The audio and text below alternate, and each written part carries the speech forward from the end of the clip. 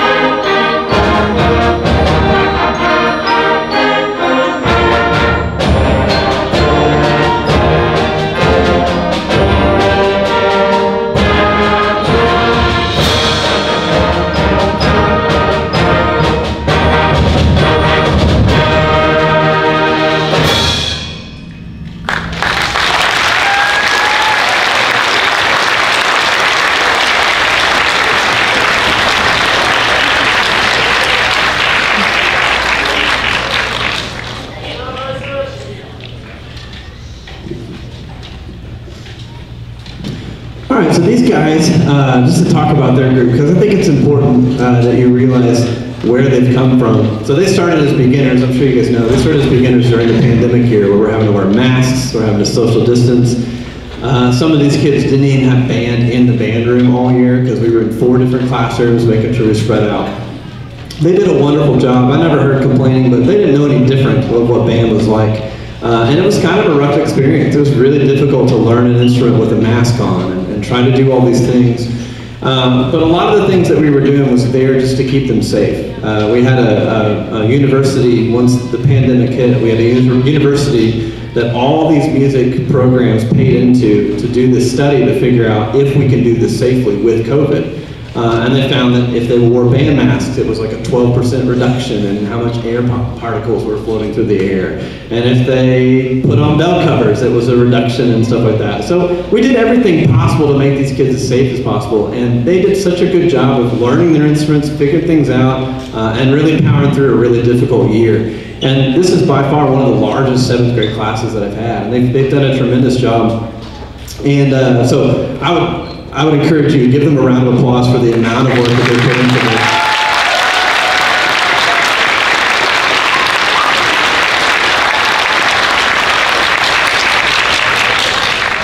It's been really encouraging to see them and, and, see how far they've come and see how much they've learned.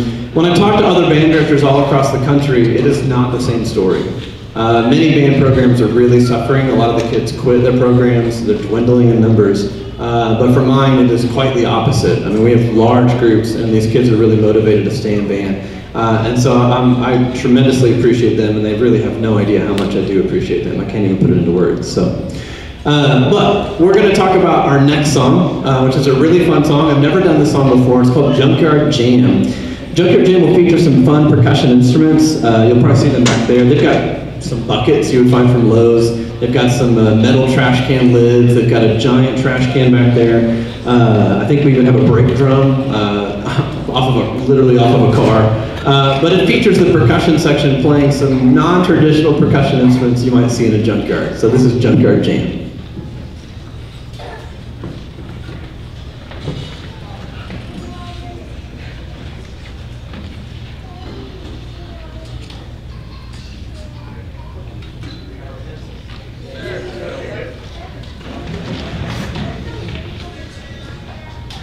Forgot to mention, the whole band will also join the percussion section with some pencils on their stand, which is really fun too. I forgot to mention that.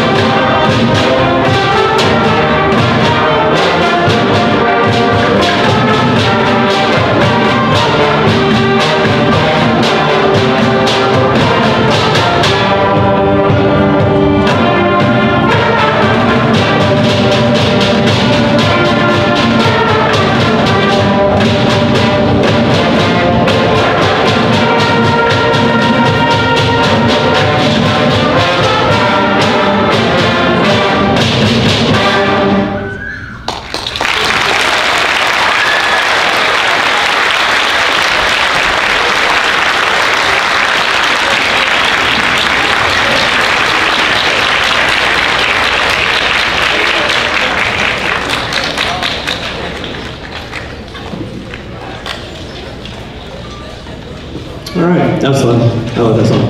All right, uh, I kind of mentioned that they didn't really get to. They they were supposed to do concert assessment earlier this year, and then we did the Branson trip, which they got to go on, but they didn't get to perform. We had a lot of issues with transportation. Just it's just been difficult. It's been difficult to find drivers and have all that stuff available to us. Uh, so that's really the biggest issue that we have with that type of thing. But these guys have been real troopers, and they kind of hung in there. Uh, and so we're excited to do this concert. And just to talk about some of these students, some of them have kind of gone above and beyond what we normally expect for the band class. Uh, and that is they participated in different things like solo and ensemble. Uh, these kids will also get the chance next year to uh, participate in All Region, which I highly encourage them to do. Uh, and we'll talk more about about that next year. But this year, some of these students signed up and they elected to do solo and ensemble. I want to recognize them uh, today. For solo ensemble, they go in, they prepare a piece of music, or sometimes it'll be two or three people to prepare a piece of music, a, a trio or a duet, and they play in front of a judge, and that judge gives them a rating of a one through five. And it's kind of like golf. One is the best, and five is actually the worst. Uh, and all of our seventh grade students that participated in solo ensemble got a first division rating, which is amazing. So super good. All right, so I'm going to name them. Uh, our first was Callie Wright. You stand up.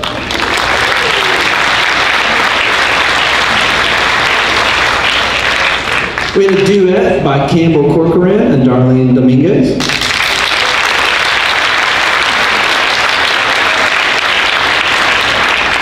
We Tyler Gardino with a solo.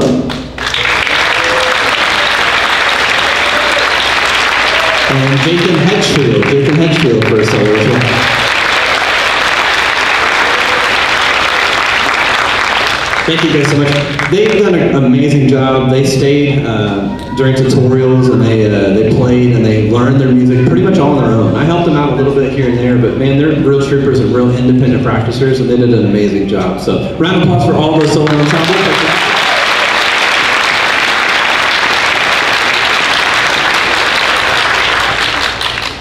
Next year, they'll have a chance, the eighth graders will have a chance to do solo ensemble as well. So if your kid didn't do solo ensemble and you'd like for them to be better on their instrument, encourage them to do it. Maybe make them, I don't know, hang an uh, Xbox over their head or something, I don't know. All right, our next thing, uh, next song we're going to play is the theme from Spider-Man, arranged by Paul Lavender.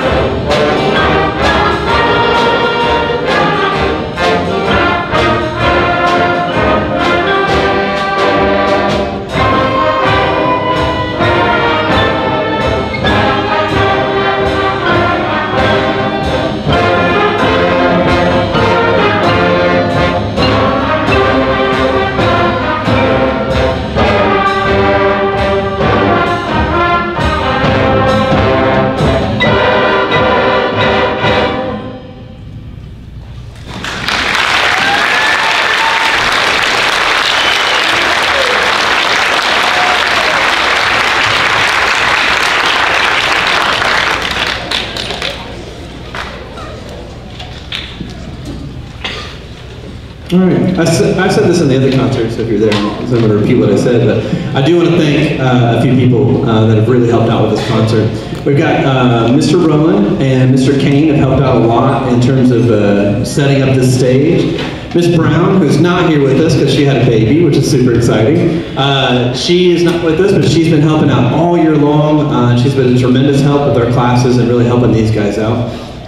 And then I'd also like to thank uh, our administrators. Uh, I know some of them are here tonight. They've done a fantastic job of supporting us. Uh, they make sure that we have pretty much everything that we need, and I greatly appreciate them and their support. Uh, and then I'd also like to thank, I, I, know I see some teachers and some staff members out here. Thank you so much for coming out tonight. Uh, these kids appreciate your support, and they love seeing you guys and your faces out here. They actually think that you live at school, so this is nice. They, they, you know, I'm just kidding.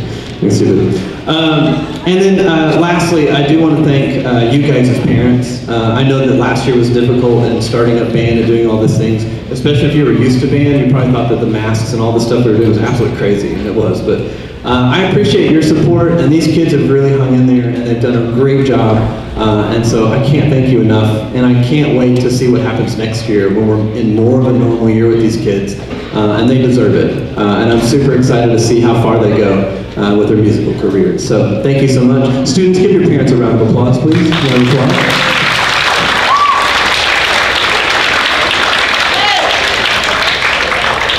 All right.